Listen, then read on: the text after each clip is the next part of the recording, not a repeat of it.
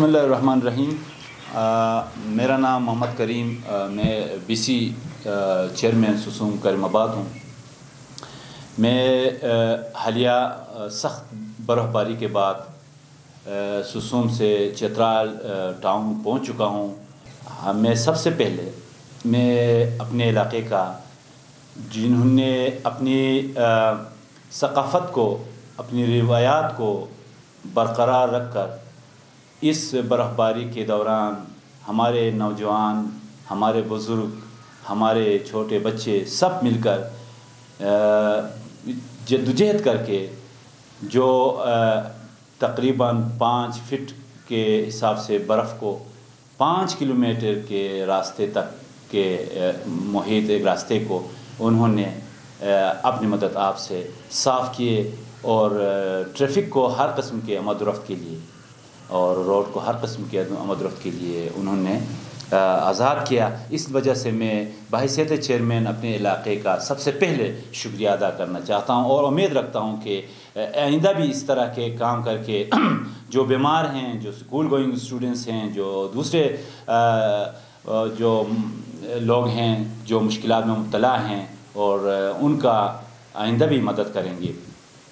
تو میں اس حساب سے یہاں پہ چترال میں آیا تھا اور جو کہ کچھ دن پہلے فوراً برف باری کے بعد فوراً روڈ آزاد کر کے اور بعض ایسی جگہ بھی تھے کہ جہاں پر سلائٹ ہو کے روڈ کے، جو کہ بلاک ہو چکے تھے، تو میں مقامی جو جو لوگ نزدیک رہتے ہیں اس جگہ کا، ان کا بھی مشکور ہوں کہ انہوں نے جو آ کے وقتی طور پر بہت خطرناک جگہ کو جو ایکسیڈنٹ کا خطرہ ہوتا تھا اس کو پھر تعمیر کر کے یہ ٹریفک کے لیے ممکن بنایا ہے، ان کا بھی شکریہ ادا کرتا ہوں۔ تو یہ سارے مسائل ہیں اور ان کو کہنے کا مقصد یہ ہے کہ ہمارے علاقے میں ہیلتھ کے فیسلٹیز نہیں ہیں۔ اس طرح روڈ کا جو صحیح بندوبست نہیں ہے اگرچہ سی این ڈبلیو نے ہمارا روڈ کو لیا ہے، تاہم اس کا مشینری وہاں نہیں پہنچ سکتے ہیں۔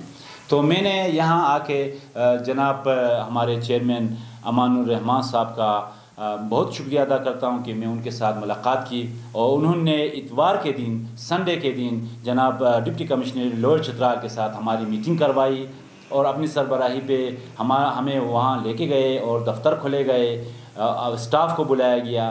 تو ہماری مسائل انہوں نے بہت خوش اسلوبی سے جناب ڈپٹی کمشنر نے سنا۔ تو اس کے بعد جناب ڈپٹی کمشنر نے مقامی محکمہ جات کو ہدایات کی۔ ان میں سے جو مسائل ہمارے تھے، سب سے بڑا مسئلہ جو تھا، حالیہ برف باری کو ہٹا کر لوگوں نے جو کمال دکھایا ہے، ان کو کم از کم اپریشیشن لیٹر تو لکھا جائے۔ اس حساب سے انہوں نے ہمیں یقین دہانی کیا ہے۔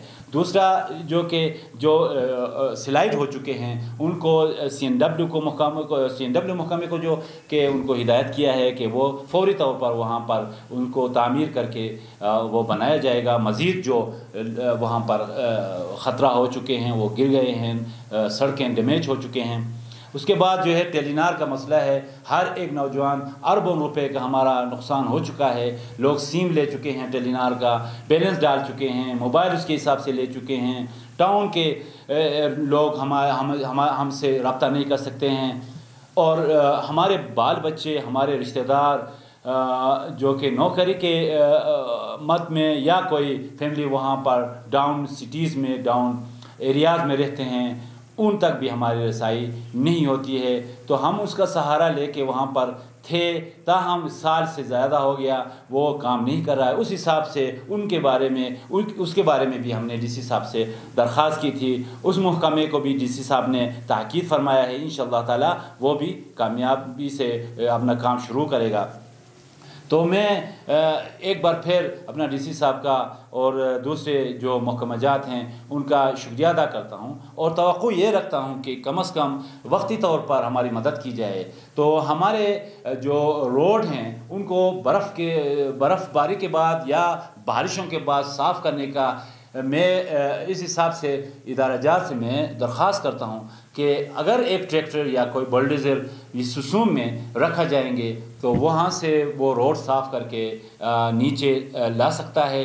کیونکہ ہمیں آئیڈیا ہوا، پہلے سے بھی ہمیں یہ آئیڈیا ہے کہ جو کہ تجربہ ہے کہ نیچے سے جو کہ مشینری وقتی طور پر وہاں پر نہیں پہنچ سکتے ہیں، کیونکہ روڈ جو ہے وہ کٹ آف ہوتا ہے۔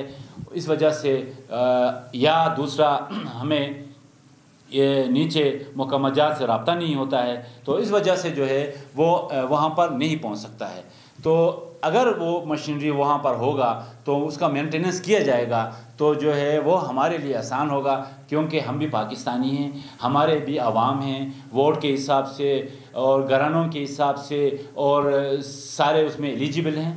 تو ہم جس طرح حالیہ بارش میں، پہلے سال کے بارش میں، حالیہ برف باری میں لوگوں نے جس انداز سے جان نثاری کا، جس انداز سے محنت سے کام کی، کر کے ہمارے گورنمنٹ کا ساتھ دیا، تو اس کا مطلب یہ ہے کہ ہم جاندار لوگ ہیں، ہم محنتی لوگ ہیں، تو ہم پرخلوص بھی ہیں، ہم پولائٹ بھی ہیں تو اس وجہ سے کہ ہماری جو پولائٹنس ہے یا ہماری جو خاموشی ہے، اس سے فائدہ اٹھانے کی ضرورت نہیں ہونی چاہیے۔ میں ایک بار پھر اپنے درجات سے یہ توقع رکھتا ہوں کہ ہمیں پریس کانفرنس کرنے ایجیٹیشن کرنے اور دوسرے دھرنا دینا، جلوس جلسہ کرنے کا موقع نہ دیا جائے۔ ہمیں گزارش ہے ادارہ جات سے کہ اس طرح جو ڈی سی صاحب، ہمارے امن الرحمان صاحب اور دوسرے محکمہ جات نے جو ہماری بات سنی اور ہمیں یہ باور کروایا گیا ہے کہ ہم آپ کے ساتھ مدد کریں گے اور ہم آپ کو مشینری وہاں پہنچائیں گے۔ آئندہ ایسا مسائل، مسئلہ مسئلہ نہیں ہوگی اور ہم آپ کے لیے مدد، آپ کی مدد کے لیے تیار ہیں۔ تو اس سب سے انہوں نے وعدہ کیا ہے۔ تو ان شاء اللہ تعالیٰ ہاں، وہ اپنا وعدہ پورا کریں گے۔ ایسا نہ ہو کہ ہمیں دوسرا پریشانی کرنا پڑے، عوام کو ہم روک نہیں سکتے ہیں۔ کب تک عوام روکیں گے؟ تو سنسار سے لے کر اب تک جو ہے لوگ اپنے مدد آپ کے تحت کام کر رہے ہیں۔ تو ہمیں کچھ ایسی بیسک چیزیں کرم آباد میں چاہیے کہ کم از کم ایک ہاسپیٹل ہونا چاہیے تاکہ بیسک جو یونٹ ہونے چاہیے کم از کم، تو وہاں پر لوگ وہاں سے استفادہ حاصل کریں اور ہمارے جو روڈ ہیں ان کے لیے مشینری رکھا جائے۔ اور میں ایک بار پھر یہاں پر جو اشپاتا سی ہے، اس کا بھی مشکور ہوں کہ انہوں نے مجھے موقع دیا۔